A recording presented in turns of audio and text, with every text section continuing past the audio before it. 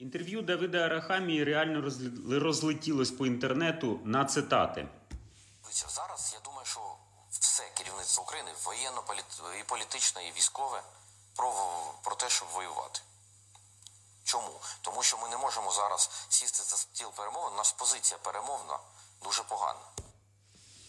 Пам'ятаєте, колись я говорив про те, що в березні, в квітні 2022 року, що перемовини то можна про це говорити, але коли наша позиція буде сильною, і в деякі моменти вона була реально дуже сильною, дуже сильною. І ворог готовий був поступитись, мені здається, багато чим, можливо, навіть всім.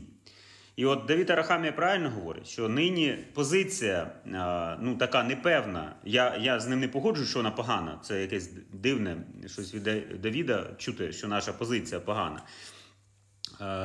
Але далі Давид говорить цікаву тезу. Тезу про те, що в парламенті все одно ця ідея перемовин не пройде, тому що потрібно буде ратифіку- ратифікувати будь-які угоди.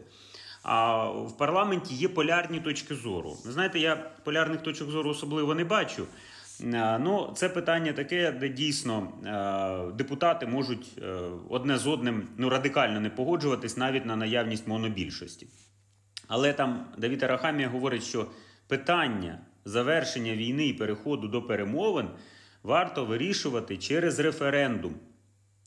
Тобто в людей запитати. Якщо люди скажуть, що так, тоді Давид натисне кнопку, засунувши, як він сказав, свою точку зору десь подалі. Повне е, інтерв'ю є на каналі, і от вижимка оця вижимка теж є.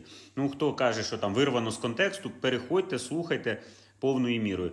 Цікаве інтерв'ю. Я ще раз повторюю: я не вірю в те, що Давид вийшов і кому це він давав? Мосійчук дав е, таке інтерв'ю, е, от абсолютно не погоджено. Я в це не вірю. Тому ще раз стверджуюсь в думці, що напевно щось готується. І можливо, в 2024 році війна в тому стані, в якому вона є нині, може бути згорнута. Ну, як мінімум, я такі висновки можу зробити з огляду на те, що нині відбувається. Можливо, за місяць станеться щось таке, що повністю перекреслить ці припущення. Телеграм в шапці профілю і підписуйтесь також в YouTube. Обов'язково також є посилання в шапці профілю. Ну і а, напишіть свою точку зору. Якщо референдум таки проведуть, як говорить Арахамія, то якими будуть результати? Тут іще одне питання: знаєте, а як референдум проводить? Коли вибори ні, референдум так, ну теж досить, досить суперечлива думка, правда?